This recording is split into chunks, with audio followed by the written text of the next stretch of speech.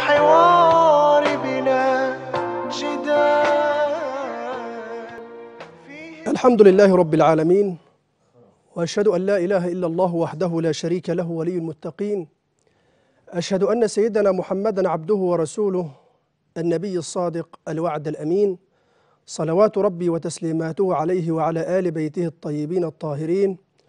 أما بعد إخوة الإسلام فمرحبا بكم في لقاء يتجدد على قناتكم المباركة قناة الصحة والجمال التي أسأل الله تعالى أن يرزق عباده في كل مكان صحة وجمالا وحفظا من الامرضه من الأمرضة أو من الأدوية أو من الداء يا رب العالمين ويجعل لكل داء دواء يا رب العالمين.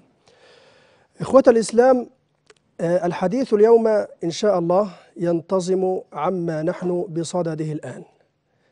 إن الأمة الإسلامية الآن بل العالم كله يعيش في فزع وفي رعب وفي هم وفي غم. الفيروس المنتشر المعروف بفيروس كورونا. ذلكم الفيروس الذي أصاب بلادا كثيرة وخاف ناس منه وفزعوا. وحقيقة هذا الفيروس أنه على ما يبدو أنه موجود بتقارير تخرج من الصحة وغيرها لكن ما يعنينا نحن كمسلمين الآن ما موقفنا تجاه هذه الأمراض التي تنتشر من آن من آن إلى آن ومنها هذا الفيروس المسمى بكورونا يعني مرض العصر. دعونا في البداية دعونا في البداية نقول أن كل شيء بقدر الله سبحانه وتعالى، كل شيء بقدر الله سبحانه وتعالى وبعلمه وبمشيئته. قال ربنا سبحانه وتعالى بعد أعوذ بالله من الشيطان الرجيم ما أصاب من مصيبة إلا بإذن الله.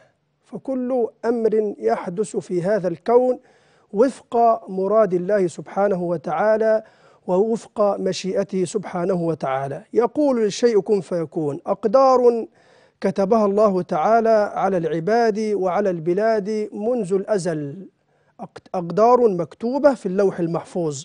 لكن المسلم يتعامل مع القضاء والقدر بكل إيجابية. بكل إيجابية. لا نقول بالسلبية إنما بالإيجابية. ونعني بالإيجابية هنا أن نأخذ بالأسباب. أن نأخذ بالأسباب. أسباب دنيوية أو صحية وأسباب دينية أو أخروية. لا نغفل هذه الأسباب. فالمسلم يتعامل بكل إيجابية مع الأمراض ومع المصائب ومع البلايا التي تنتشر من آن إلى آن. نحن نأخذ بالأسباب. نأخذ بالأسباب. لكن لا ننسى مسبب الأسباب سبحانه وتعالى الذي يقول للشيء كن فيكون. ومعلوم أن البلاءات أن البلاءات دائما وأبدا هي رحمة في غالبها رحمة يعني ظاهرها العذاب لكن في باطنها الرحمة. الرحمة من الله سبحانه وتعالى. رحمات يرحم الله تعالى بها أولياءه لأن المصيبة أو البلاء أو المرض إذا أصيب إذا أصاب امرئ مسلم أو ولي من أولياء الله سبحانه وتعالى فليعلم هذا العبد أن هذه رحمة من الله سبحانه وتعالى وهذه كرامة من الله سبحانه وتعالى لأن الله إذا حب أحب عبدا ابتلاه. ده الكلام ده مش دروشة ولا حاجة الكلام ديت دي من أصول الدين من أصول من بديهيات الدين. النبي صلى الله عليه وسلم هو الذي قال هذا قال إذا أحب عبدا الله إذا أحب الله تعالى عبدا ابتلاه. وإذا زاده حبا شدد عليه في البلاء. شدد عليه في البلاء. يبتلى الناس على قدر دينهم. يبتلى الناس على قدر دينهم. ده هذا يعني إن قدر الله سبحانه وتعالى وأصاب المرض أو أصابت المصيبة إنسان كويس إنسان صالح. يبقى هذه رحمة من الله سبحانه وتعالى. وقد نقول هذا اصطفاء من الله سبحانه وتعالى دون مبالغة. معنا اتصال مؤمنة اتفضلي السلام عليكم. وعليكم السلام ورحمة الله وبركاته.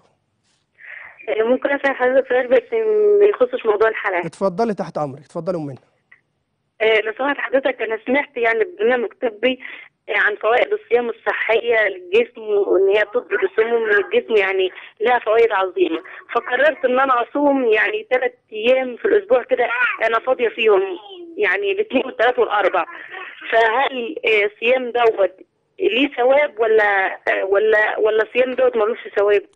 حاضر أجيبك إن شاء الله. يعني أنا أنا يعني عجبني فوائد الصيام الصحية فقررت إن أنا أصوم. تمام أنا تمام. إن هو ليه ثواب يعني عظيم طبعا أجر عظيم بس طب- فأنا محتارة كده أنا اخد الثواب بتاع الصيام ولا اخد لا ولا وصل وصل السؤال وصل السؤال يا أختي وأجيبك حالا إن شاء الله. الأخت منا بتت- بتسأل عن فوائد الصيام الصحية. ده ده مهم جدا يا جماعة. مهم جدا موضوع الصيام. ديت علاقة بينك وبين الله سبحانه وتعالى. هذه العلاقة نريد نريد أن نصل أن نصل أنفسنا بالله سبحانه وتعالى من أي طريق. كل واحد له طريق مع الله سبحانه وتعالى. يعني الأخت مؤمنة بتقول لك أنا أنا أصوم إن شاء الله ثلاثة أيام. جميل خالص. ده ده من يعني يكفيك أنك في شهر الله تعالى المحرم شهر رجب. أمر النبي صلى الله عليه وسلم بالصيام في الأشهر الحرم. ونحن في شهر رجب شهر فاضل شهر فضيل من الأشهر الحرم. آه، يعني الصيام معانا عبادة جليلة. الصيام يا جماعة ده, ده أبحاث يعني صنعت ودارت حول الصيام إن الصيام ده يعني بيقضي على كثير من الأمراض. قد يكون منها والله العظيم آه، المرض الذي نحن بصدده الآن. ال- ال- الصيام يا جماعة بيديك مناعة مش بيديك حرمان زي ما الناس بتفهم. الصيام بيضيق المسام في الجسم وبيعصر جسم الإنسان لما الإنسان يصوم سبع ثمان ساعات أقل أزيد دي في حد ذاتها يعني وقاية للإنسان من من طعام قد يكون أصلا فيه المرض طعام فيه مواد حافظة. فالصيام أساسا جميل جدا ويعني وهي تأخذ بالنيتين. بنية أخروية اولا إن دي عبادة قال فيها النبي صلى الله عليه وسلم من صام يوما واحدا مش ثلاث أيام بقى ولو يوم واحد. باعد الله بينه وبين النار سبعين خريفا. يوم واحد يبعدك عن النار بمشيئة الله سبحانه وتعالى وعفو وكرمه مئة آه، سبعين سنة. آه، الصيام يا جماعة آه، إن ديت حاجة جميلة جدا. نحاول نحافظ عليها من ضمن من ضمن إيه؟ الأشياء اللي إحنا ممكن نقي بها أنفسنا أو نأخذ بها يعني من ضمن أسباب النجاة من هذه الأمراض. نرجع لكلامنا. يبقى لابد أن نعلم أولا أن أقدار الله سبحانه وتعالى تسير. والعبد والعبد مسير في أمور ومخير في أمور. من ضمن ما أنت مسير ومخير فيه أن تتعامل مع ال- الأمراض. أنت مسير أنت مسير أن الله كتبه عليك. أن الله سبحانه وتعالى ابتلى به غيرك. ومش خلي بالك الكلام ده مش مش حديث لسه ولا بتاع اليومين دولت. ده الأمراض والأمراض والأوبئة والطاعون ده يعني مع مر التاريخ بيتجدد بيتجدد.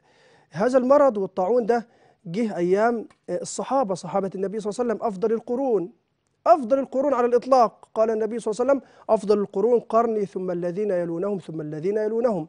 ومع ذلك أفضل القرون أصابهم داء الطاعون في بلاد الشام المسمى بطاعون عمواس. ده كان أيام سيدنا عمر بن الخطاب رضي الله عنه وأرضاه.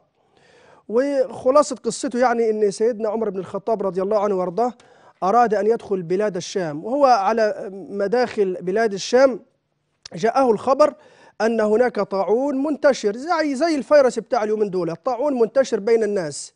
يميت يميت العباد. ده حتى يا جماعة آه، التاريخ بيقول لك أن هلك فيه حوالي 25 ألف 25 ألف منهم صحابة كتير. على رأسهم سيدنا أبو عبيدة بن الجراح أمين هذه الأمة. أمين هذه الأمة يموت بالطاعون. على رأسهم سيدنا معاذ بن جبل أعلم الأمة بالحلال والحرام كما قال صلى الله عليه وسلم.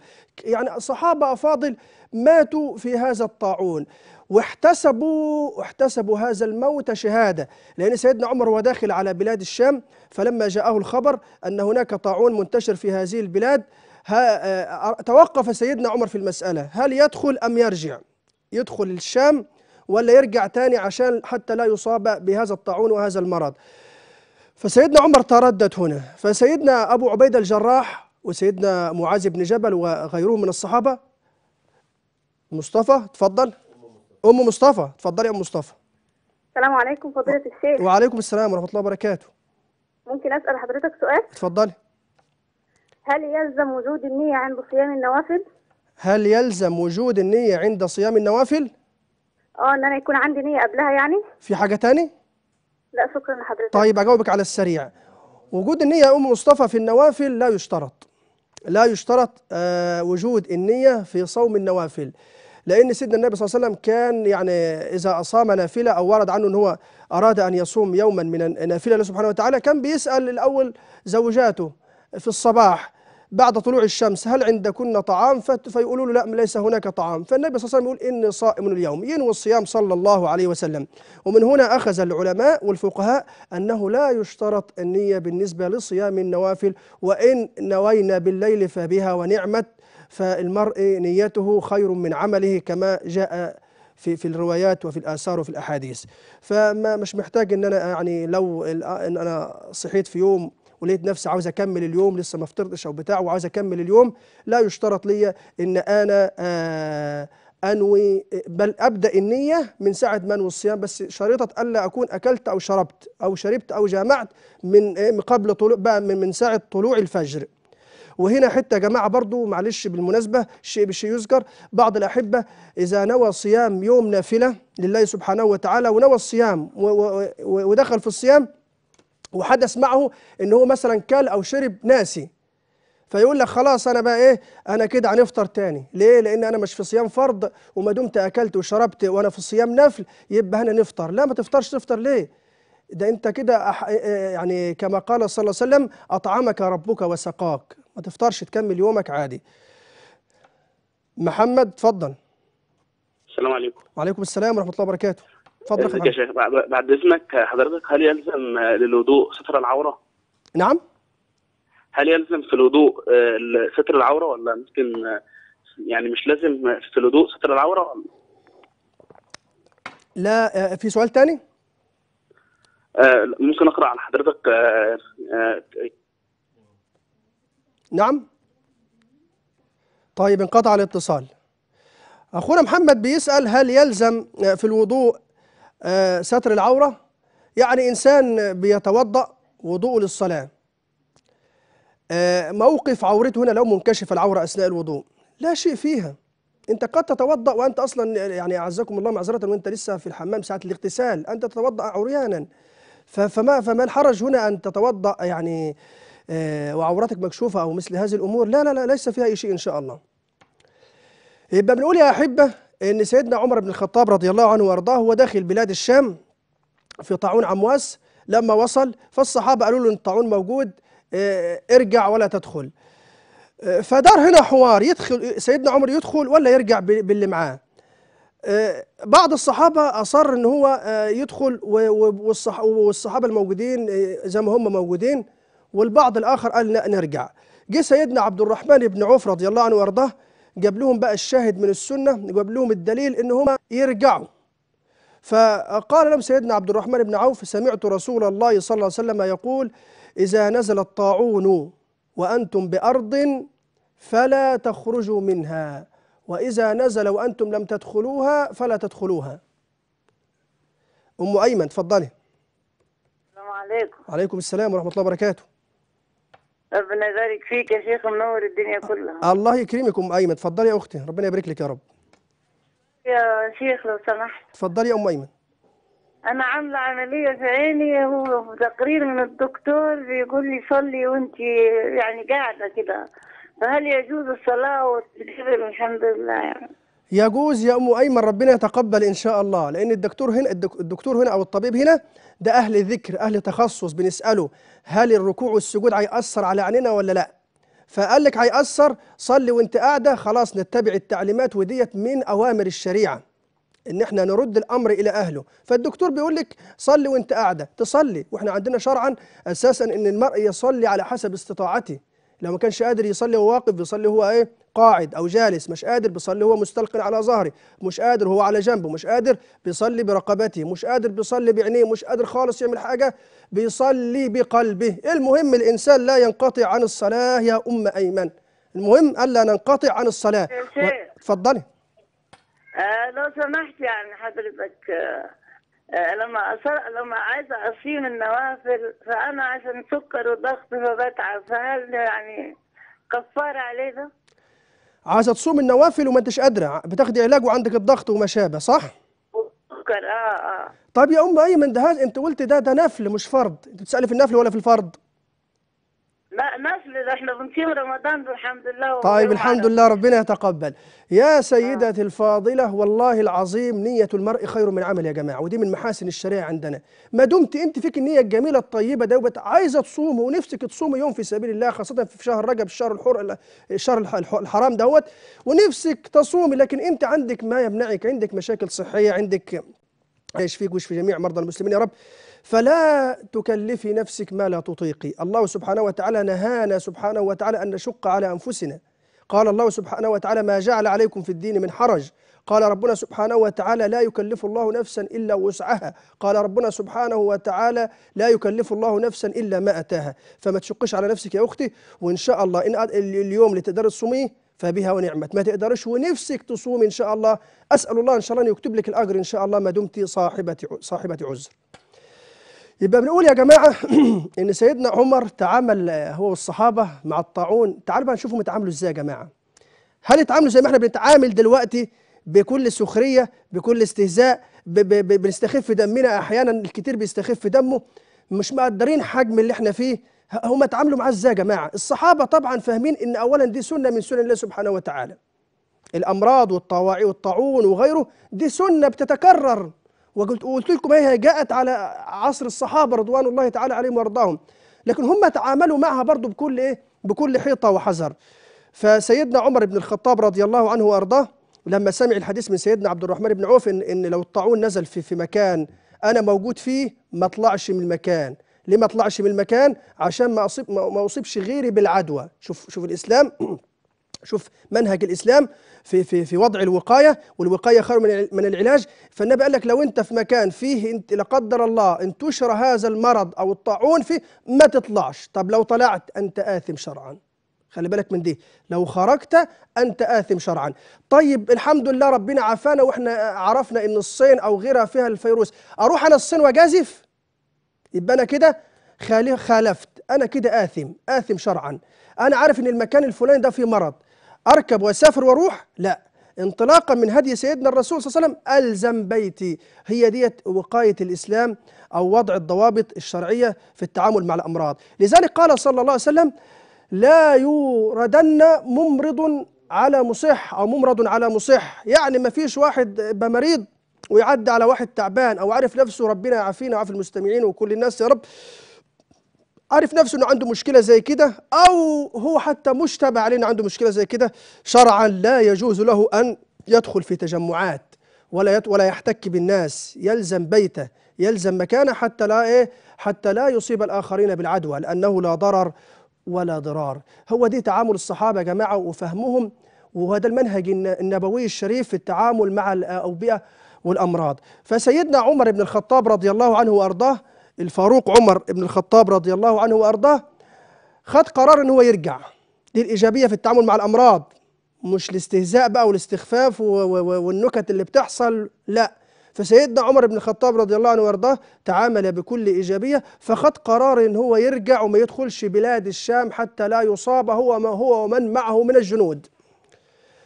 فلما خد القرار بعض الصحابة بيلوموه وبيعتبوا عليه.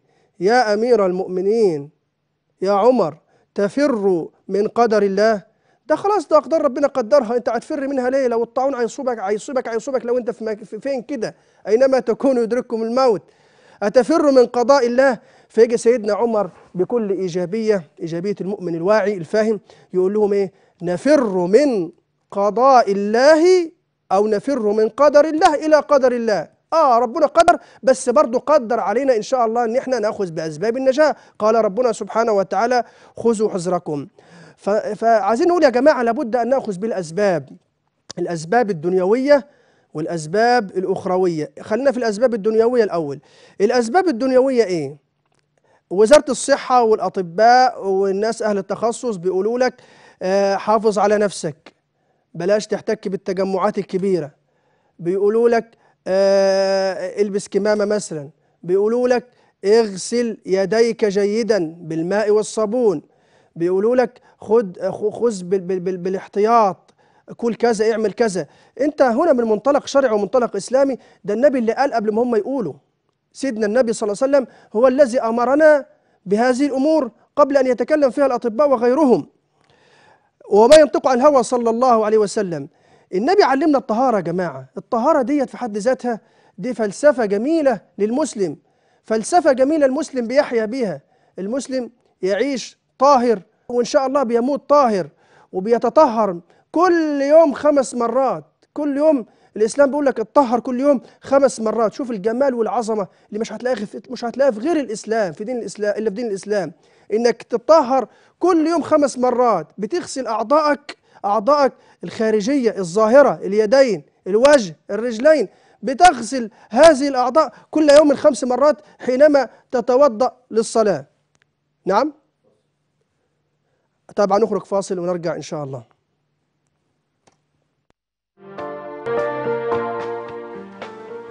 بعد الحمد لله والصلاة والسلام على سيدنا رسول الله صلى الله عليه وسلم. إذا توقفنا مع آه، الأخذ بالأسباب الدنيوية ومنها آه، الطهارة الطهارة وقلنا إن الطهارة ديت منهج إسلامي وفلسفة إسلامية آه، يعني عظيمة جدا سيدنا النبي صلى الله عليه وسلم أمرنا بالطهارة أمرنا الإسلام بأن نتوضأ آه، خمس مرات كل يوم تغسل أعضائك الظاهرة وتغسل أيضا أعضائك بعض أعضائك؟ الباطنة أو الداخلية وقد يعني يطلب منك أن تغتسل مثلا غسل جنابة على مدار اليوم. إذا كل هذه طهارة أم كريم اتفضلي. السلام عليكم يا شيخ. وعليكم السلام ورحمة الله وبركاته. يا شيخ كنت معلش ليا سؤالين عند حضرتك. السؤال الأول هل البلاء مرض كورونا ده هل هو بلاء من عند الله لأنه مش راضي على البشر؟ تمام. مع إن إحنا الحمد لله بنصلي وعارفين ربنا وبنتوجه له. هل في ناس كتير متجهين غير اتجاه لربنا ويوم الدنيا وحياة الدنيا؟ السؤال الثاني يا شيخ معلش أنا عندي ابني في توفاه الله من 6 11 رحمه فطبعا.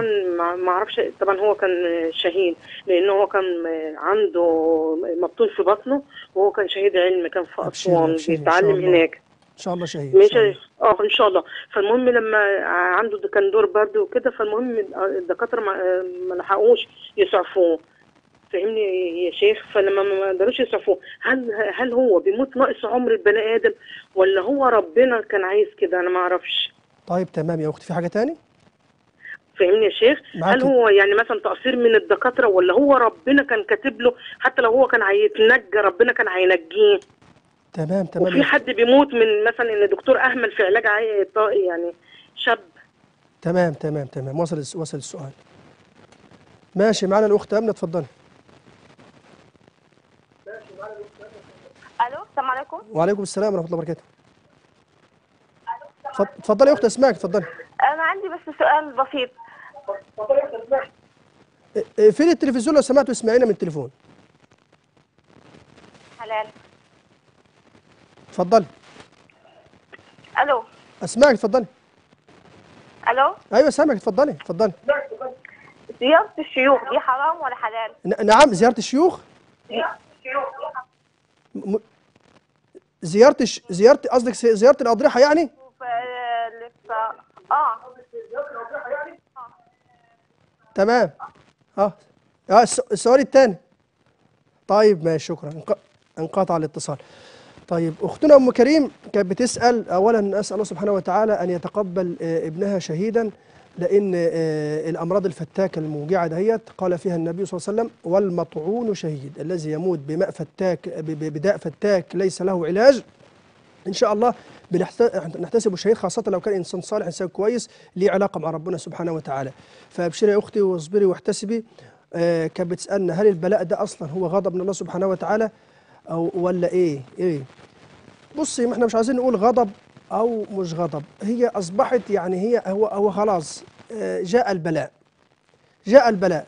آه قد يكون غضب والعياذ بالله. طيب لو غضب طب الناس الصالحة فين؟ الناس الكويسة فين؟ الناس اللي كويسة بتموت. إيه إيه الموقف؟ فالنبي صلى الله عليه وسلم حسب المسألة لما سألته السيدة زينب ذات يوم لما خرج النبي صلى الله عليه وسلم مفزوعا ذات ليلة واستيقظ مفزوعا وقعد يخبط على حجرات نسائه يوقظهم للصلاة. وقال لهم آه، يعني ويل للعرب من شر قد اقترب. ويل للعرب من شر قد اقترب.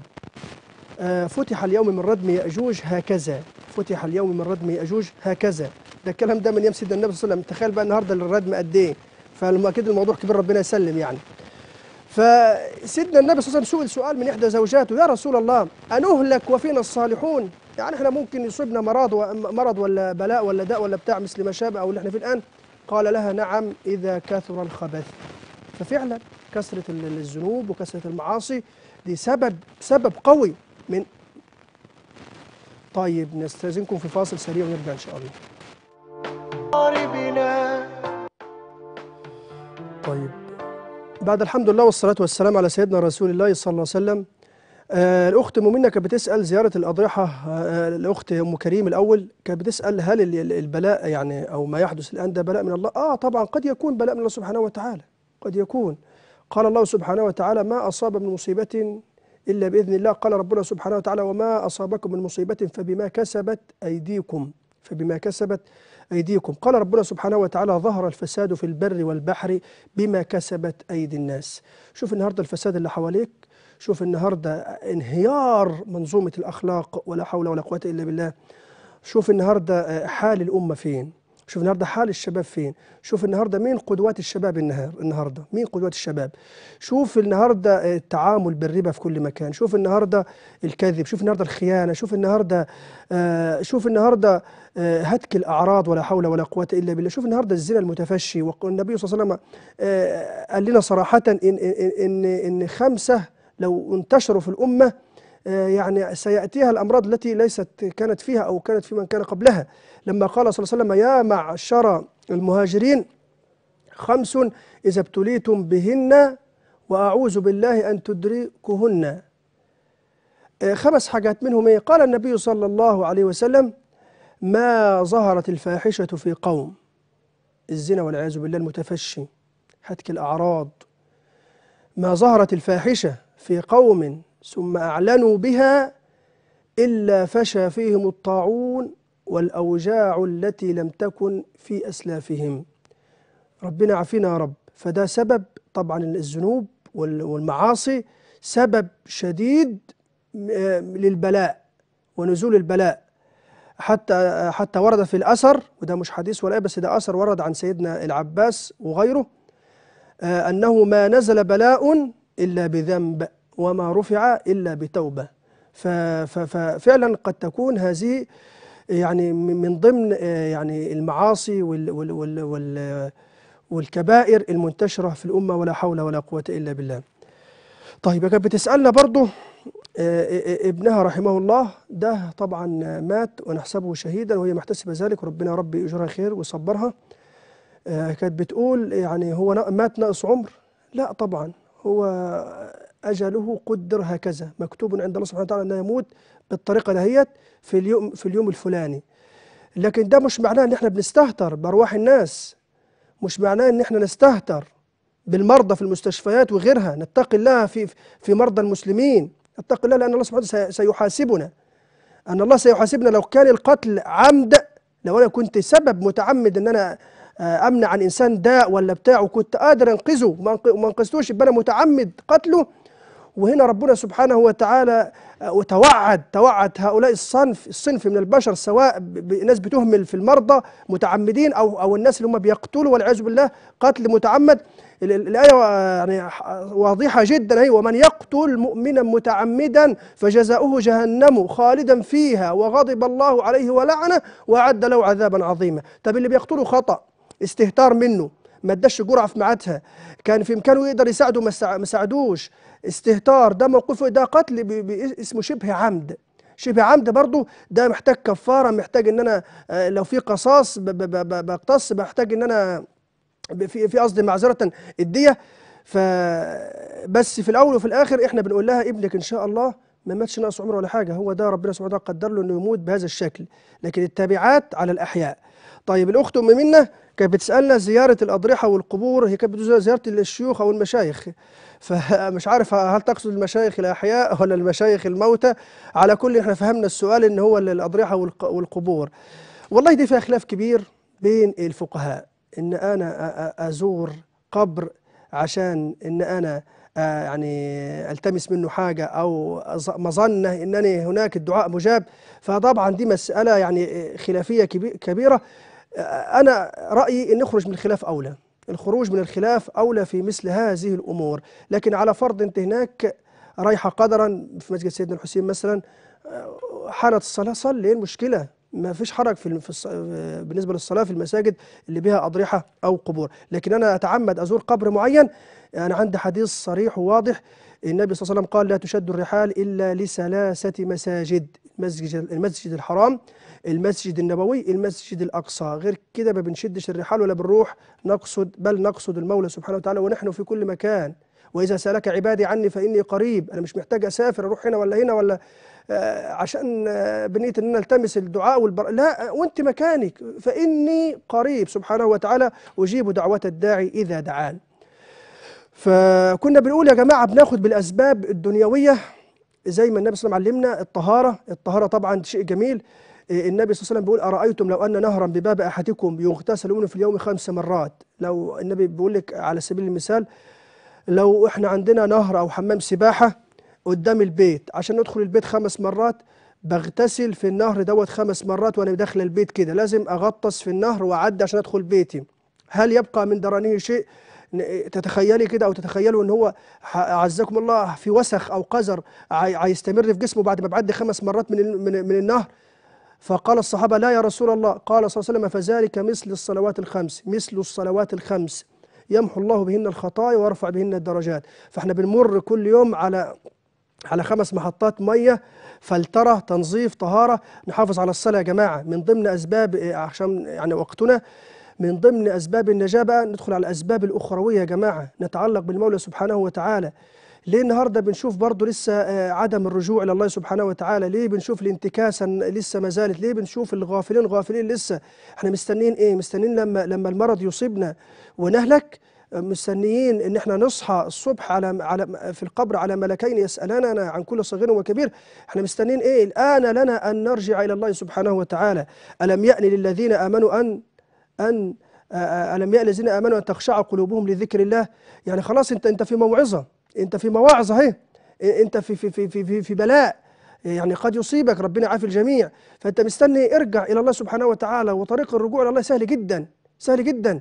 فقط ما عليك إلا أن تجدد النية والتوبة والأوبة والرجوع إلى الله سبحانه وتعالى وتندم على تقصيرك اللي فات. بعد كده بتلتزم بتلتزم بالخمس صلوات اللي ربنا فرضهم علينا في اليوم والليلة. قال صلى الله عليه وسلم خمس فرضهن الله تعالى في اليوم والليلة. بنلتزم يا جماعة مع الله سبحانه وتعالى. عشان ربنا سبحانه وتعالى يطهرنا اولا بأول. فصلاة الصبح أو صلاة الفجر بتمحي لك الذنوب اللي قبلها زي ما النبي علمنا كده في الأحاديث والروايات. صلاة الظهر بتطهر الذنوب والمعاصي اللي قبلها. صلاة العصر بتطهر الذنوب والمعاصي اللي قبلها. صلاة ال- ال- ال- العصر المغرب بتطهر الذنوب والمعاصي اللي قبلها. صلاة العشاء بتطهر. زي ما النبي قال تحترقون ثم تحترقون فتصلون فتغسلها يعني الصلاة بتغسل الذنوب اللي هي قبلها. فديت سبب قوي للرجوع لله سبحانه وتعالى. نرجع لله نرد المظالم إلى أهلها يا جماعة. نرد المظالم إلى أهلها. لو إحنا أكلنا حقوق أحد من الناس لو إحنا أكلنا حقوق إخواتنا في الميراث الدنيا لن تغني عنك من الله شيئا. المال المال تجمعه كله للأسف تجمعه كله وتتركه كله وتسأل عنه وحدك. يعني هتسأل يوم القيامة أنت أنت خدت حق مش حقك؟ اعتديت على أختك في الميراث وكلت حق حقها عشان خاطر أولادك؟ طب هم أولادك هيستمتعوا بالمال؟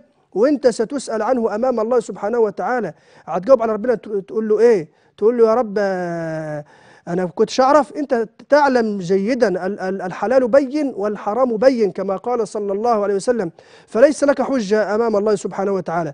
يا جماعة ما- زي ما زي ما جاء في في الأثر ما نزل ما نزل البلاء إلا بذنب. فعلا قد تكون هذه ذنوب ذنوب فعلناها ونحن لم نستشعر. فحري بنا أن نرجع إلى الله سبحانه وتعالى. حري بنا أن نكسر أن نكسر من الاستغفار أن نكسر من الاستغفار. وأبشرك وأبشرك وأبشر نفسي إن المستغفرين والناس الطائعين لله سبحانه وتعالى وال- وال- والقريبين من المولى سبحانه وتعالى إن شاء الله بيحفظهم المولى سبحانه وتعالى. بيحفظهم المولى من من ال- الداء ومن الأوبئة ومن الأمراض. بس طبعا بياخدوا بأسباب النجاة برضه بياخدوا بأسباب النجاة الدنيوية. فيحفظهم المولى سبحانه وتعالى. سيدنا عبد الله بن عباس يقول لو نزلت صاعقة من السماء لو نزلت صاعقة من السماء ما ما أصابت مستغفر. الله أكبر. لو نزلت صاعقة لا قدر الله من السماء ما أصابت مستغفر. ليه؟ لأن المولى سبحانه وتعالى بيقول في القرآن الكريم وما كان الله ليعذبهم وأنت فيهم وما كان الله معذبهم وهم يستغفرون.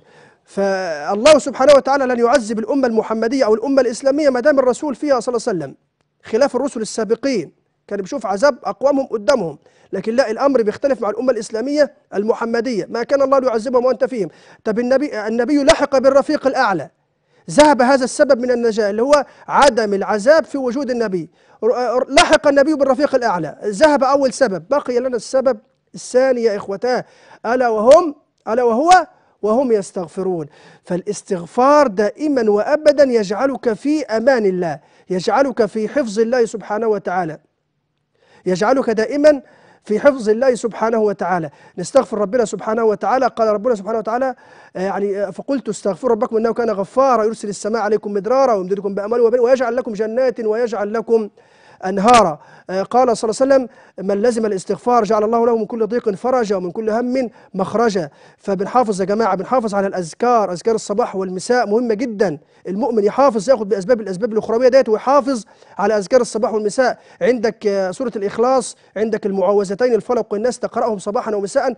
كل سورة ثلاث مرات. عندك آية الكرسي تقرأه صباحا ومساء مرة. عندك آخر آيتين في البقرة تقرأهما قبل أن تنام. آمن الرسول بما إلى آخر الآيات. بتقرأها قبل أن تنام. حافظ دائما على الأذكار. حافظ دائما على الأذكار.